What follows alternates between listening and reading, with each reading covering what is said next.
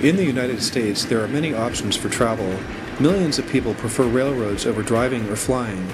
Riding a train is a romantic experience. It's like going back in time to a slower era, where instead of focusing on speed, you can relax and take in the scenery. Amtrak is great, but something is missing from the back of this train private rail cars. For those who love Amtrak but want more, here's your opportunity to ride in a grander style. For anywhere from a few hundred to a few thousand dollars, you can live like a king and ride a private rail car. There are many private car owners who run their cars on charter tours. On these tours, you'll get a better look at the scenery like the Truckee River and the Sierra Nevada mountains.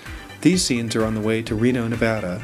For just a few hundred dollars per person, you can experience a step up in the travel experience and relive the history of railroading on many private rail cars. Yet some want a more exclusive experience, and for those discriminating travelers, there is an exception the Virginia City Car. Featuring classic art and marble appointments, the car on the back of this train was owned by a real rail king, Lucius Beebe.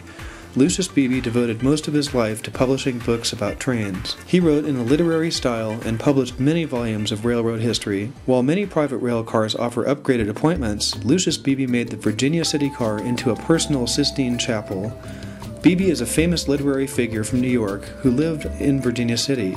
He and his partner Charlie Clegg spent $350,000 in the 1950s to make this Virginia City car into a rolling palace and you can ride it too. While many private rail cars are certainly Cadillacs on rails, the Virginia City car is the Rolls Royce of rail travel.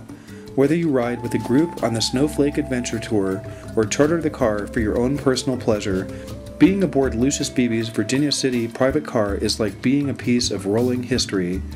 Featuring an extravagant parlor, a luscious dining room, and ample sleeping accommodations, the crew of the Virginia City will treat you like royalty and cater to your every wish. For nearly 25 years, owner Wade Pellizer has provided the ultimate in luxury rail travel. He has the experience and know how to make your chartered rail tour a once in a lifetime experience. I'm Wade Pellizer, and we're on board the private car Virginia City. We're here in Sparks, Nevada, waiting to take our group back to the Bay Area. I've owned the car for almost 24 years. We, ch- we do charters with the car. Uh, we can go just about any place that Amtrak goes, and we've gone pretty much all, all places where Amtrak goes. The biggest expense, of course, is when the car is rolling. Yeah. It's on the rails. But generally, I tell people it's somewhere between five and six thousand dollars a day. Oh, gotcha. And Okay. that's all inclusive. That includes the crew, all your meals, sleep on board the car on a cross country trip. So it's your hotel, your meals, uh, full crew, all the food, all of your beverage. Just sit back, relax, enjoy yourself. Sit on the back platform, look out the windows if it's really cold. This car was built in 1928. It was named the Crystal Peak. It was built as a Pullman car for use on the San Francisco Overland train, which ran Chicago to San Francisco. It was rebuilt in the 1930s, had air conditioning applied, and was renamed Golden Peak. In 1954, Lucius Beebe and his partner Charles Clegg bought this car, and they used it to replace their first car, the Gold Coast, which is now in the California State Railroad Museum. They invested in 1954, 1955 dollars, $350,000 into this car. Attorney and I were drinking one night, and he explained to me how I could purchase the car, and told me not to because I didn't. He didn't know, you know, what kind of liabilities are, is there going to be. What can you do with the car?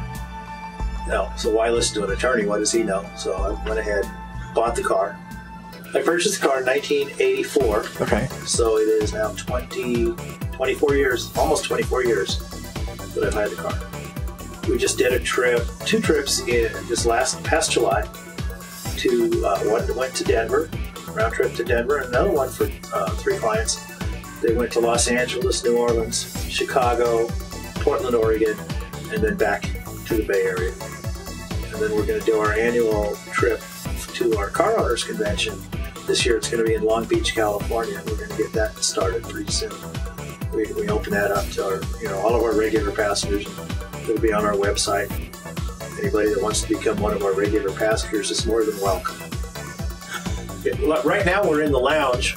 We've been in the lounge, and I'm standing in front of the Venetian marble fireplace. It's a gas log fireplace that works, puts out a lot of heat. It's very nice.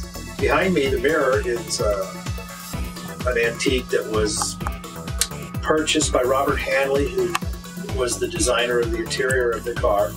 Most of the car is filled with antiques. The mirror dates from about the late 18th century. Chandeliers are from Murano.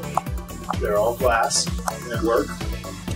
Uh, he, he, did a. Uh, he went on a shopping trip to northern Italy and bought a lot of antiques and put in the car, which is what raised the, the price of how much money they put into it. They told him they wanted a car that was really outrageous. His comment was, I think I have succeeded. The car has three bedrooms that sleep two each, and a formal dining room, and a kitchen, and a cruise quarters. It's fully air conditioned, it's heated, it's self contained